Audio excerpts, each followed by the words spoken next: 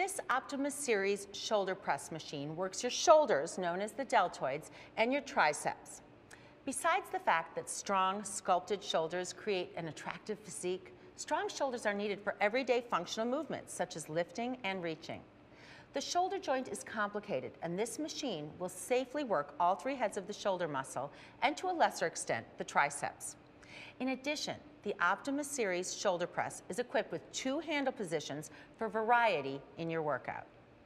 To set up for the shoulder press machine, begin by choosing the proper resistance on the weight stack by moving the pull pin, and you can add the drop-down incremental weight if you choose also. Then adjust the seat by using the pull pin so that when you sit down, the handles are just above shoulder height. Now remember there are two grips on this machine, so you can grip wide, overhand, or grip more neutral with your palms facing in. Sit back, abs tight, shoulders back, and go ahead and press overhead, and slow and controlled, bring it back down. Press it all the way up, keep your shoulders away from your ears and don't lock your elbows, and then bring it back down. Perform the desired amount of repetitions for your workout.